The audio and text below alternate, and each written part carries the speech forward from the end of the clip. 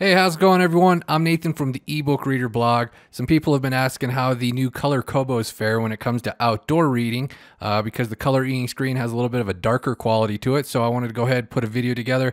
We'll compare it to regular e-ink screen. We'll compare it to a tablet screen. Uh, right now, we're starting off in shade. I think that's probably like the most realistic uh, outdoor reading scenario, but we'll do full sun later as well. So right now, we're starting out in the shade, the Kobo Libra Colour here. But the same will apply to other color models as well. They all have sort of the same look with the color ink screen, the Kaleido 3 screens. So here we are outside on a bright day in the shade. Um, we'll start off this way. We got the, uh, load up an ebook here.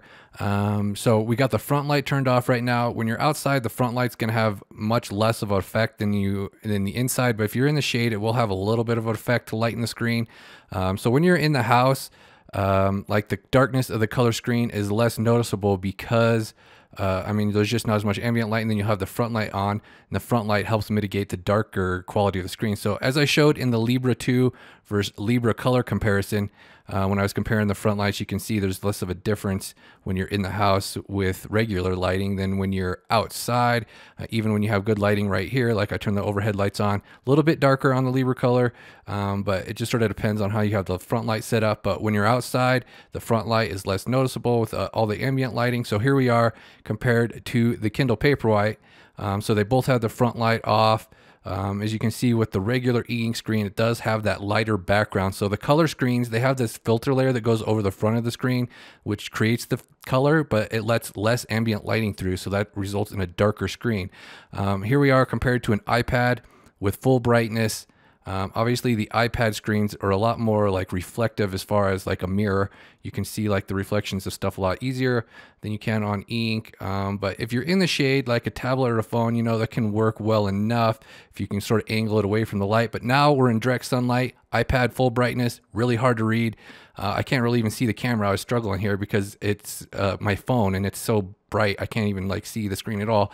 But when you're working with ink out in direct sunlight, it looks great. It's one of its like main qualities is like outdoor readable quality.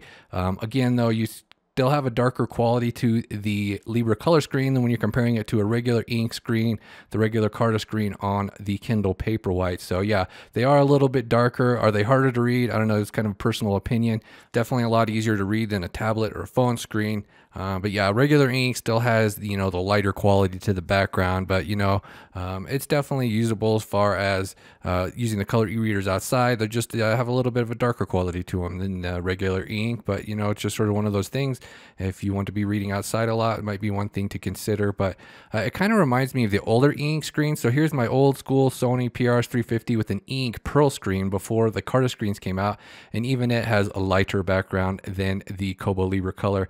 Um, when you have them side by side. So that's one thing to consider when it comes to e-readers with color e-ink screens. They're starting to become more popular now. As you can see here, when we're out in the direct sunlight, you turn on the front light, has zero effect. So much ambient lighting, the the LEDs just get totally, they're just like totally unnoticeable. But when we take it back into the shade, you do notice a little bit uh, of a boost in contrast with the lighter background, but I mean, it's still not anywhere close to like what the regular e-ink screen looks like. So it's just one of those things to consider. Uh, definitely a big improvement over like a tablet screen. Even in the shade, the tablet gets lots of reflections you can see here. Whereas you'll see a little bit of light reflections on the ink screen, but you don't see like the full, it's not like a full on mirror like it is on a tablet. So, so that gives you an idea what color ink looks outside. If you like this video, please subscribe, check out the ebookreader.com and, you know, the ebook reader YouTube channel. Thank you guys for watching. Bye.